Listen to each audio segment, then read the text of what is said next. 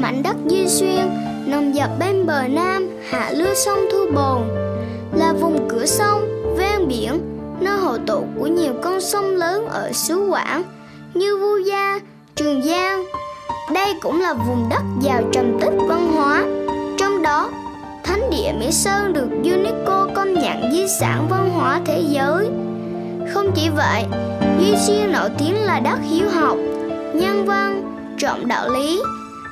Người dân nơi đây luôn có tinh thần yêu nước nồng nàn, truyền thống đấu tranh cách mạng kiên cường. Đặc biệt, huyện Di Xuyên hai lần được vinh danh anh hùng lực lượng vũ trang. Có 14 đơn vị, địa phương và 20 cá nhân được trao tặng danh hiệu anh hùng lực lượng vũ trang. Trong không khí phấn khởi của những ngày tháng 12 lịch sử, để tưởng nhớ các anh hùng liệt sĩ, đã hy sinh vì nền độc lập của Tổ quốc. Liên đội trường tiểu học số 1 Nam Phước đã tổ chức hành trình đến với các địa chỉ đỏ, nơi ghi nhận những sự kiện, cột mốc lịch sử quan trọng của địa phương. Chặng đầu cuộc hành trình, chúng em đặt chân đến làng Tân Mỹ Đông, thị trấn Nam Phước, nằm bên bờ bắc sông Bà Rén hiền hòa, thơ mộng. Đây là nơi lễ kết nạp đảng viên và chi bộ đảng đầu tiên của huyện Duy Xuyên được thành lập.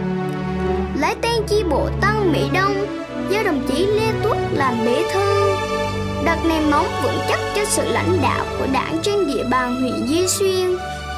Nhằm làm tốt công tác giáo dục cho thế hệ trẻ hôm nay và mai sau, huyện ủy, hội đồng nhân dân, ủy ban nhân dân huyện Di Xuyên xây dựng bia di tích với sự đồng thuận cao của nhân dân trong toàn huyện thu hút đông đảo các đoàn viên, thiếu niên nhi đồng trong huyện đến tìm hiểu truyền thống lịch sử cách mạng.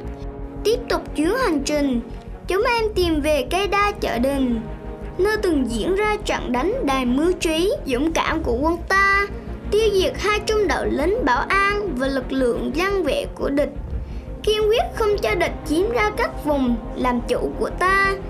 Trận đánh thành công, phần lớn công trạng là nhờ vào cây đa và đây cũng là chứng nhân những chiến công oanh liệt trong những năm kháng chiến chống Mỹ.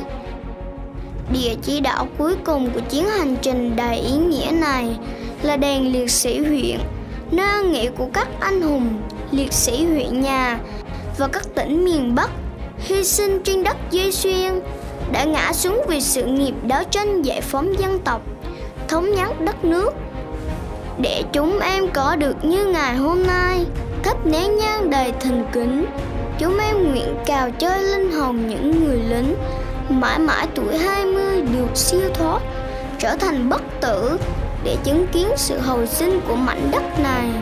Mảnh đất mà đã phải đổi bằng xương, bằng máu để gìn giữ vẹn nguyên cho thế hệ mai sau. Thiếu nhi di xuyên chúng em đang ra sức thi đua học tập tốt, rèn luyện chăm để góp phần xây dựng quê hương đất nước ngày càng giàu đẹp, văn minh và viết tiếp những trang sử vàng trên quê hương Di Xuyên anh hùng. Trong giờ phút thiêng liêng này, bằng tất cả lòng tự hào dân tộc, đứng trước cờ đỏ sao vàng, chúng em cắt cao bài hát tiếng quân ca, quốc ca của Tổ quốc Việt Nam. Đã bao lần, trong những phút giây trang nghiêm, đã cất lên lời bài hát ấy. Bài hát đã trở thành hồng thiên sông núi, là giai điệu tự hào thiêng nhất của dân tộc Việt Nam. Hơn 70 năm qua, quốc ca nằm trong trái tim mỗi công dân đất Việt. Lời bài hát vang lên trên mọi nẻo đường tổ quốc, tiếp tục vang mãi như lời hiệu triệu non sông. Bài ca đã và sẽ mãi mãi là tài sản vô giá của nhân dân Việt Nam.